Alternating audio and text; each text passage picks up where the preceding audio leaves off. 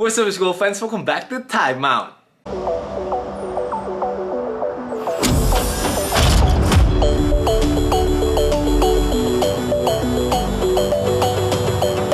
Balik bareng Padilla, kita kembali lagi ke Info Basket harian dari si 4 November 2021 Time out gang, I am very happy today Karena tadi seperti kalian ketahui, gue meliput pertandingan Charlotte Hornets melawan Golden State Warriors.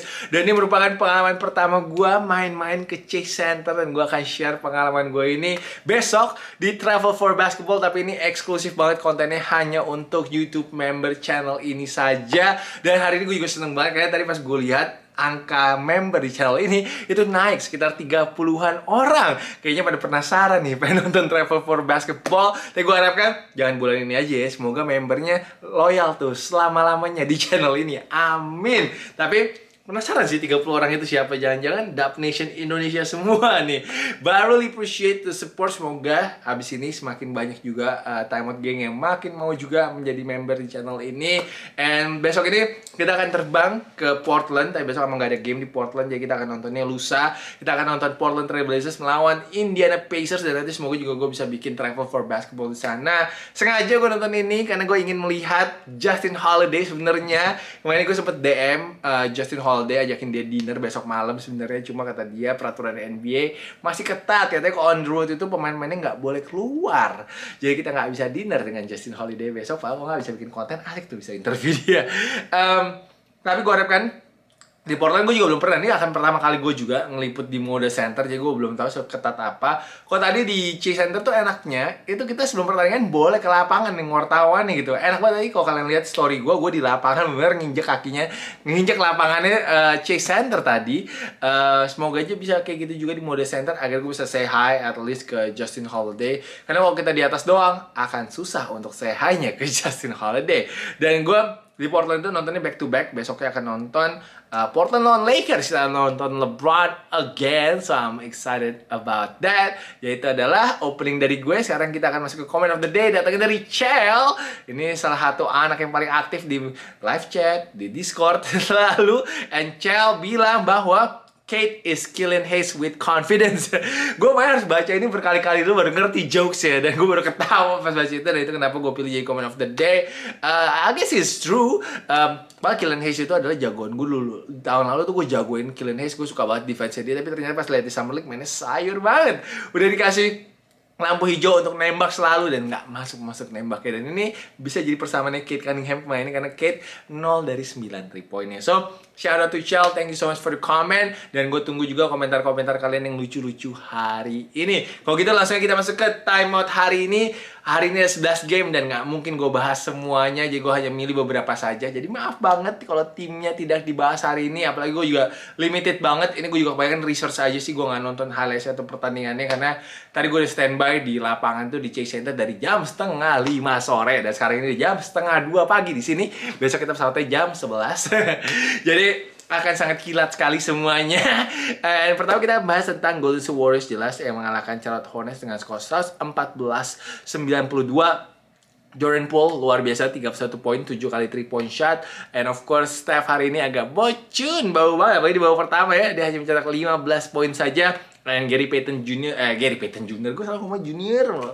Gary Payton the second yang menjadi story malam ini di mana dia mencetak 14 poin dan juga 3 steals. Tapi slow start untuk Golden State Warriors hari ini uh, mereka mainnya dari belakang tadi ya ketinggalan terlebih dahulu emang offense mereka di babak pertama tidak jalan tapi untungnya ada Jordan Poole di mana dia mencetak 22 poin dan 7, uh, 6 kali 3 point di babak pertama yaitu itu ada yang Rocky Padilla. Dan itu adalah yang membuat Golden State bisa stay in this game. Dan Jordan Poole tadi teriak kayak pas banget ngadepnya deket gue. Itu tadi dapat fotonya. Dan Jordan Poole ini adalah tukang DJ-nya. Dia yang bisa masang gonta-ganti lagu. Saat lagi pemanasan ntar kalian bisa lihat di travel uh, for basketball di mana dia masukin colokin HP-nya uh, so langsung nyambung untuk ke speaker Center. Gokil banget lah dia pokoknya. But Uh, selain Jordan Poole di babak pertama menurut gue Gary Payton the second pasti masukin sama Steve Kerr pun langsung set the tone juga untuk defense Warriors. Kita semua tahu lah ya defensive instingnya dia luar biasa sekali.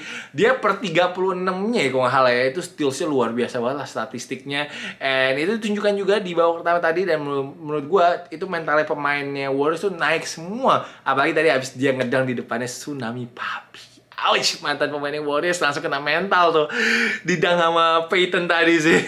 Tapi Uh, gue setuju banget sama Clay Thompson di mana Clay tadi nge-tweet ya bilang bahwa we can watch Gary play defense all day. And yeah we can karena gue juga enjoy banget ngeliat si Gary uh, Peyton ini main defense. Menurut gue dia bener niat banget sih dan defense-nya emang keren banget. Uh, Steve Kerr pun juga bilang dia mau kasih Gary Payton second ini nanti menit lebih banyak ke depannya karena he deserve it dan perjalanannya dia luar biasa banget ya berkali-kali lu try out di Warriors dan juga Washington, tim lain juga G League, wah gila main di Drew League waktu itu gue juga sempat ketemu nih teman baiknya Taral Corbin. Jadi bener-bener menurut gue uh, patut diapresiasi banget sih uh, effort dan juga perjuangannya si Gary Payton uh, second ini untuk bisa nyampe di NBA. Tapi Babak kedua, defense Warriors bagus banget, apalagi di kuarter ketiga. Uh, kuarter tiga mereka outscore si uh, Charlotte Hornets tadi cukup jauh. Uh, Charlotte Hornets langsung banyak turnover dan dia nggak bisa attack the rim sih. Can't get to the rim tadi di babak kedua. Uh, dan sekarang Warriors memiliki defensive ratings paling bagus di NBA melewati Miami Heat. Uh, mengejutkan juga nih. Um, belum ada Clay Thompson ya. Kalau Clay Thompson ini adalah salah satu pemain two way terbaik di NBA dan tadi lima setengah menit terakhir itu si Charles Hornets tidak mencetak poin sama sekali dan itu kenapa mereka stuck di 92 poin. GP2 tadi sengaja ditarik sama si Steve Kerr saat lagi Draymond free throw itu biar bisa mendapatkan apresiasi dan juga mendapatkan standing ovation dari Chase Center dan juga dipeluk sama Steve Kerr tadi pas keluar. Tapi yang paling lawak tapi di game kali ini adalah Steph Curry ya di mana dia tadi mencoba untuk nembak 3 point lalu mutar ke benchnya si Charles Hornets tapi ternyata tembakannya tidak masuk. Jadi mungkin akan masuk ke shaking shaking a full nanti ya. Uh, Steph tapi 3 poinnya emang hancur sih hari ini. 3 dari 11 tapi untungnya Warriors masih menang dan Warriors improve ke 6-1 dan patut dikasih kredit juga adalah benchnya Warriors. Mereka outscored benchnya Hornets itu 42-11 dan yang nanyain Clay banyak banget yang nanyain Clay ke gua hari ini. Clay itu tadi pemanasan doang tapi dia lucu pakai full gear gitu. Pakai baju latihan apa pakai baju tandingnya. Tapi baju City Editionnya Warriors kurang oke okay. cuma warna hitam gitu doang. Menurut gua agak kurang bagus sih. Um, tapi gue datangnya telat. Gue datangnya um, pasti Clay Thompsonnya udah selesai latihannya jadi gue cuma dapet pas dia lagi free throw doang gue rekamnya. Terus pas dia lagi ngobrol-ngobrol sama orang di situ jadi sayang banget but Semoga aja Clay akan kembali secepatnya. Setahu gue sih mungkin Desember atau Januari nanti Clay Thompson baru main. And LaMelo yang gue pengen nonton hari ini juga mainnya sayur banget. Cuma 14 poin, 5 dari 14 tembakannya. Kecewa banget sih gue ngeliat LaMelo hari ini. Lalu juga dia 4 kali turnover. Kayak kurang oke okay banget lah pokoknya hari ini. Dan juga, tapi yang main bagus hari ini adalah Miles Bridges. Gue ngomongnya agak berantakan, gak tahu kenapa nih hari ini. Maaf banget ya guys ya. um, Miles Bridges ini in the running bareng Jordan Jordan gue mau bilang Jordan oh my god gue salah berapa kali nih. Sorry guys ya gue nggak cut sini um, Miles Bridges in the running with Jordan Poole untuk most improved player dan hari ini pun dia mencetak 32 poin. Kalian kalau disuruh pilih most improved sampai saat ini Miles Bridges apa Jordan Poole nih? Kalian bisa tulis saya di comment section di bawah. And itu dari gamenya Charlotte Hornets melawan Golden State Warriors. Sekarang kita akan pindah ke Chicago Bulls melawan Philly yang gamenya super seru. Philly menang tipis 103-98. Seth Curry 22 poin. Embiid 18 poin, 9 rebound dan 7 assist. Serta George Niang yang mencetak 18 poin. Bagi NBA Fantasy, George Niang coba pick up nih. Mumpung si Tobias Harris lagi ada di health and protocol kesehatan apa di Astaga, ini gue bikin ulang gak ya?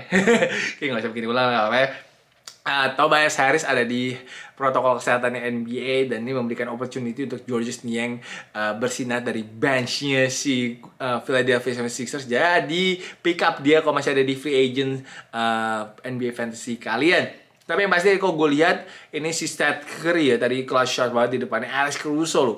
Dijaga sama Alex Caruso dia mencoba membebaskan diri lalu wah dia kayak ada head fake sedikit tadi ditembak sama dia masih masuk sih gokil banget sih. Itu tembakannya susah banget dan juga ada Embiid tadi ngeblok si DeMar DeRozan itu ngebloknya bersih dan agak oh boh katanya Embiid sambil ketawa tadi ke mukanya si DeMar DeRozan. Um, ini kemenangan keempat secara beruntun kayaknya oleh 76ers.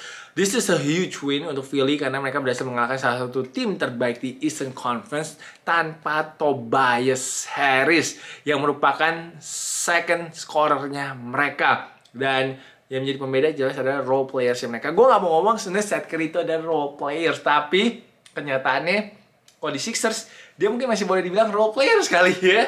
Walaupun dia udah mulai mau mengubah statusnya sebagai uh, pemain bintang di Sixers, tapi ya Curry menurut gue tadi di kuarter keempat ada beberapa kali clutch shot juga and Matisse Thybulle, Tyrese Maxey, uh, Furkan Korkmaz, and of course Georges Niang semuanya efisien banget. Tyrese Maxey zero zero TO uh, dan 14 poin tadi saya ingat gue dan itu adalah yang membuat menang tapi Bulls gila sih DeMar DeRozan. Sejak dia pindah ke Bulls he is a killer man. Udah kayak berubah jadi Michael Jordan. Dia mainnya asli. 37 poin hari ini. Jago banget DeMar DeRozan.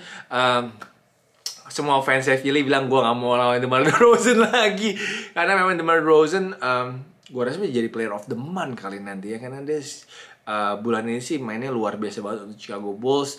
Uh, Zach Levine tadi sempat bum nis dengan uh, Joel Embiid, uh, but he played through it dan mencetak 27 poin. Si Bulls nih kayaknya desperate butuh bantuan untuk benchnya mereka sih. Mereka butuh Kobe White untuk kembali. Ini benchnya mereka cuma 13 poin guys. 13 poin starter mereka butuh bantuan sih dari bench saat uh, pemain-pemain ini butuh istirahat. Kalau nggak mereka akan run out of gas. Tadi beberapa pemainnya bos kalau gue lihat agak kecapean sih di kuarter keempat ya. Dan Nikola Vucevic man, come on man, you're an all star. Masa cuma 4 poin doang. Gue tahu dia main capek dengan Joel Embiid, tapi dia pemain NBA apa pemain all star man, kaliber all star gitu dia nggak boleh mencetak 4 poin aja sih. Sehancur itukah Nikola Vucevic sekarang ini bermain di Chicago Bulls? Kasihan sih dia kalau nggak bisa bantuin Demar sama Zach Levine. Oke, okay. Berikutnya ada Boston Celtics yang menang atas Orlando Magic dengan skor 92-79. Setelah komentar pedas dari Marcus Smart, mereka katanya ada meeting. Walaupun si Ime Yudoka bilang ini nggak players only meeting sih, katanya ada mungkin ada beberapa orang lainnya juga. Untuk bertukar pendapat, um, tapi hal ini sih normal banget menurut gue di NBA uh, eh, pemain kritik pedas lalu juga ada players only meeting itu ya ups and downnya lah sepanjang NBA season dan gue nggak bilang mereka mainnya bagus sih gue nggak bilang mereka mainnya bagus hari ini tapi mereka bisa nahan Magic 79 poin sih agak gila sih. Uh, ini skornya kayak NBA tahun 90-an asli. Tapi Jalen Brown 28 poin, Jason Tatum masih hancur 14 poin, uh, 4 dari 16 tembakannya.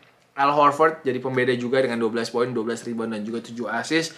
Gue mungkin mau bilang satu alasannya juga Tatum agak kayak gini mungkin bolanya juga Wilson. Kita tahu beberapa pemain NBA udah kita bahas uh, agak komplain tentang bola ini. Tapi kadang-kadang gue juga mikir apakah si Tatum ini kehilangan skillsnya sampai segitunya. uh, tapi tadi di babak kedua memang dia ada beberapa kali miss lay apa attack the basket finishingnya masih agak miss. Tapi gue suka sih dia nggak terlalu maksain untuk nembak fade away atau tough shot gitu sih tadi sih di babak kedua. Dan bolanya movementnya masih oke okay juga. Tapi untuk Celtics mereka mainnya biasa aja gue bilang sih uh, tadi Magic banyak miss open shots and of course si Celtics ini hanya 92 poin melawan salah satu defense yang paling buruk di NBA harusnya mereka harus bisa 100 lah ya. Uh, tapi Al Horford keren sih main di big man sebagai uh, bareng sama Robert Williams. Uh, dia bisa jadi kayak apa ya mungkin dia mainnya forward kali jadi playing forward gitu jadi bisa ngatur serangannya offense si Celtics. Dia bilang dia dia bilang pun dia juga seneng sih jadi sebagai decision makernya juga uh, untuk ngatur flow offense Celtics dan ini dia akan menjadi leader juga sih. Dia akan mengambil uh, role leadership juga untuk bisa mengatur anak-anak muda ini nih agar mainnya bagus lagi. Uh, semoga aja tapi Al Horford, Big Al bisa sehat-sehat aja sih uh, season ini. Dan seperti gue bilang, um, slightly better untuk ball movementnya setelah ada si Al Horford hari ini. Walaupun tadi kalau nggak 4 menit terakhir sempat mau coba kembali ke ISO basketball sih, seinget gue. But They have to play much better though. Besok mereka akan lawan Miami Heat. Uh, ntar kita akan bahas di prediksi. Kalau mereka nggak mainnya lebih bagus pada hari ini, mereka akan dibantai besok sih. gue yakin. And terakhir gue akan bahas, ini ada Pacers nih yang menang 111-98 dari New York Knicks. Pacers sudah mulai mendapatkan pemain-pemain starternya Malcolm Brogdon lalu juga Caris LeVert LeVert sih langsung jago sih dan langsung berpengaruh untuk offense Pacers uh, jelas flow-nya offensive Pacers lebih enak kok ada Levert, ada opsi lain dan juga lebih deep timnya. Levert langsung 21 poin, 5 assist dan juga 3 blocks. Uh, Brockton juga ada kembali hari ini dengan 17 poin. Um, tapi hari ini bintangnya adalah Miles Turner. Dia mencetak 7 kali 3 point kok halah karir high dan juga sesuai dengan 25 poin gila. Miles Turner kok lagi wangi dari 3 point sih wangi banget sih dia sih ya. Um, tapi dengan tim yang sekarang ini uh, kayaknya mereka udah ready nih menurut gue untuk balik lagi ke winning streak. Uh, tinggal butuh TJ Warren ya. Kayak sisa TJ Warren aja yang belum kembali dari starting lineup si Pacers. Um, ya, Pacers ini timnya deep sih dan ini merupakan tim yang gue bilang jadi dark horse di Eastern Conference tapi memang ada masalah cedera aja awal-awal season ini and Sabonis juga kayaknya masih perlu penyesuaian lagi nanti uh, Sabonis masih bisa upgrade banget sih mainnya sih menurut gue dia masih bisa dia masih kurang oke okay sih di awal-awal season ini menurut gue nggak sedominan seperti biasanya. Um, jadi gue gue expect si Pacers ini akan menanjak si performanya abis ini ya. Dan kemarin gue lupa untuk nyebutin Scotty Barnes dan juga Chris Duarte sebagai salah satu salah dua um, calon rookie of the year. Tapi gue takut sih kalau Chris Duarte. Kalau pemainnya Pacers sudah kembali semua tuh gue takut touchnya dia tuh turun. Kayak hari ini aja dia cuma 9 kali doang nembaknya jadi, tapi kalau dari TJ Warren gue lebih nggak tahu. Mungkin kalau dari TJ Warren dia harus turun ke cadangan kali ya nantinya. Jadi itu kenapa gue nggak menjagokan Chris Duarte sih untuk jadi Rookie of the Year. Mungkin untuk Scotty Barnes gue akan menjagokan dia. Gue pilihannya antara Scotty Barnes sama uh, Evan Mobley sih sekarang ini untuk jadi Rookie of the Year di tahun ini. Bahwa see, season masih panjang sih. Uh, cedera itu sulit diprediksi banget. Dan kalau gue lihat dari twitternya fans Knicks hari ini, itu pada marah sama body language-nya Julius Randle. Gue gak tahu sih Julius Randle body language-nya kayak apa sih. Uh, katanya dia bilang dia juga males banget ya defense ya. Jadi kalau ada yang tahu, please tulis di comment section di bawah. Dan hari ini Randle 4, uh, 18 poinnya juga 14 rebound, sedangkan AJ selesai dengan uh, 23 poin sebagai top scorer New York Knicks. Maaf ya guys ya, gila main hari ini gue ngomong gak coba ya ada apa nih hari ini nih apa udah kemalaman dengan ngantuk tadi gue di pesawat sih tidur pulas banget sih hari ini sih oke okay. Berikutnya kita ngomongin tentang Brownie dan juga LeBron ada fotonya di Sierra Canyon di mana wah Brownie lempar bedak juga kayak bapaknya. Gue masih penasaran sih Brownie si jago apa. Gue jujur belum pernah nonton Brownie kan secara langsung. Uh, semoga tahun ini ada kesempatan nanti untuk nonton Sierra Canyon. Sierra Canyon tapi too deep sih. Uh, timnya mereka nambahin pemain yang namanya Jeremiah Nyarko yang kita pernah liput juga dia tahun lalu untuk Don Bosco nambah Isaiah, aduh namanya belakangnya siapa ya? Itu salah satu pemain juga yang paling jago di California. Jadi mereka nggak fair ya, masih ada Amari Bailey juga sih. Gua gua rasa mereka nggak akan kalah sih tahun ini sih, karena mereka semakin kuat aja timnya. Uh, tapi gue penasaran sih kalau ada yang pernah nonton Brownie kasih tau gue dong Brownie itu sejago apa sih? Tapi kayak nggak mungkin sejago bapaknya kan yang pasti. Um, cuma uh, offernya dari college-college kayak college-college gede juga sih udah sisi Brownie ini sih ya. Oke, okay, dan tadi ada report juga katanya Dame sempat meeting pas off season sama LeBron sama AD di rumahnya LeBron.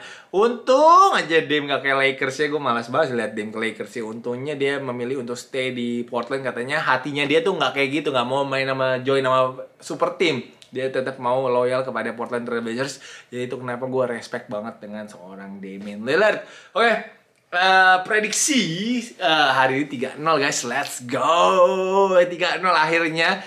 Setelah lama kita menunggu prediksi 3-0 uh, Memphis menang tipis hanya setengah poin doang menangnya.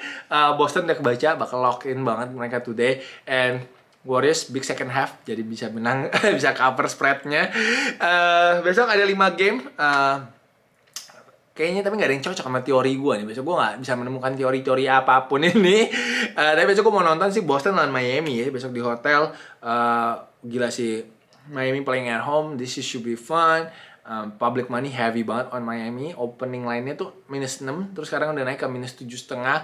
Secara logika memang harusnya Miami menang jauh sih dari Celtics. Apalagi kita lihat tadi Celtics juga mainnya gitu banget lawan Orlando Magic.